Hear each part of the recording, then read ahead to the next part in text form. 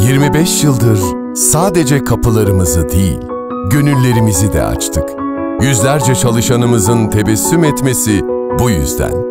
Ve 25 yıldır güveninizi boşa çıkarmamak için çalıştık, ürettik. Bayramlarımıza bayramlar ekledik. Çoğaldık, büyüdük. Artık sizinle birlikte büyük bir aileyiz.